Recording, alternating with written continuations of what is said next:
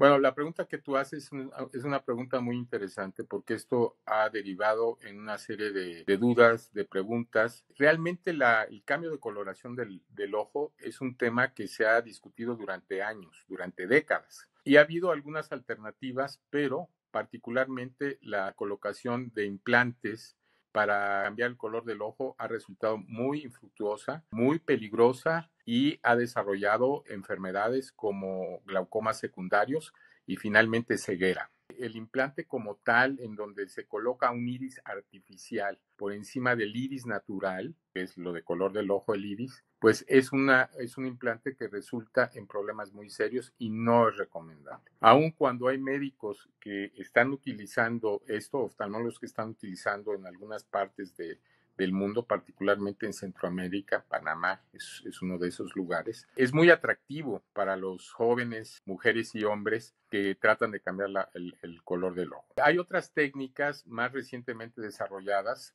como la despigmentación del iris a través del uso de láser.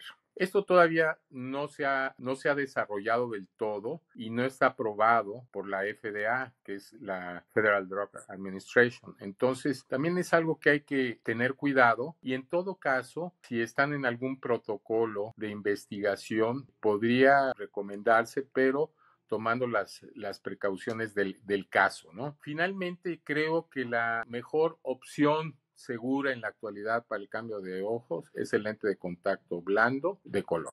Y nos quitamos de problemas porque tú sabes que al hacer una intervención, ya sea quirúrgica o con láser, pues es una modificación que, insisto, hoy en día, particularmente para esta última alternativa que es el láser, todavía no conocemos del todo. El implante que sustituye al iris, eh, al iris de nuestros ojos por un iris de plástico no debe de utilizarse y está proscrito. Entonces, lo mejor, usen sus lentes de contacto. Además, se los pueden quitar y vuelven a su color natural. Se van a una fiesta, una reunión, pues se lo quitan, duran un par de horas y se acabó. Y vuelven a tener sus ojos normales sin el peligro de tener una consecuencia realmente devastadora.